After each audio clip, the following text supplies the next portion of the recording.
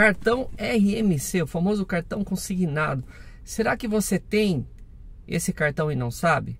Esse cartão nada mais é do que um empréstimo. E você pode saber se você tem ou não, checando seu olerite, sua folha de pagamento, você que é aposentado pensionista, seu extrato do INSS. Se tiver lá cartão RMC, é sinal que você tem esse empréstimo, você tem esse cartão que muitas pessoas nunca receberam. E você pode colocar um fim nesse cartão. Que se você não tomar uma atitude, você vai passar 10, 15, 20 anos pagando esse cartão. Marcelo, mas eu tenho que entrar com uma ação na justiça para derrubar esse cartão, para parar esse desconto? Não, você resolve tudo sozinho, sem gastar um único centavo com ação judicial. Basta que você tenha um cálculo na mão provando o que tem de errado.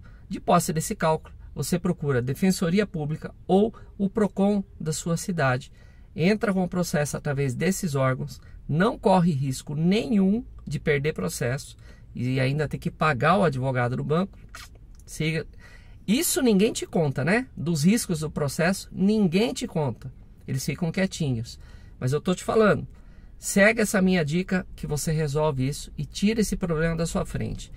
A outra forma, a segunda forma de você resolver esse problema é fazendo pagamento avulso todo mês. Você exige a fatura do seu cartão e além do pagamento do mínimo, você vai pagar, fazendo um pagamento avulso todo mês. Assim você vai eliminar esse cartão da sua vida.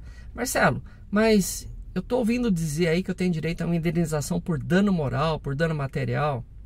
Não cai nessa. O que você vai gastar com o processo não vai te oferecer custo-benefício. Olha só, você vai gastar num processo só de honorários aí cerca de dois mil reais, ok? Quanto que as pessoas conseguem de indenização quando conseguem? Porque apenas 10% das pessoas que entram com o processo conseguem indenização. Você vai conseguir no máximo dois mil reais também de indenização. Ou seja, é chover no molhado.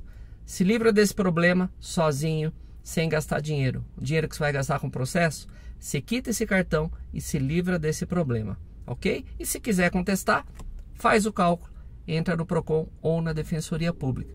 E se quiser fazer esse cálculo, mostrando tudo que tem de ilegal, juros abusivos dentro desse cartão, entre em contato com a nossa equipe, que nós somos especializados nessa área. Fica a dica. Até mais.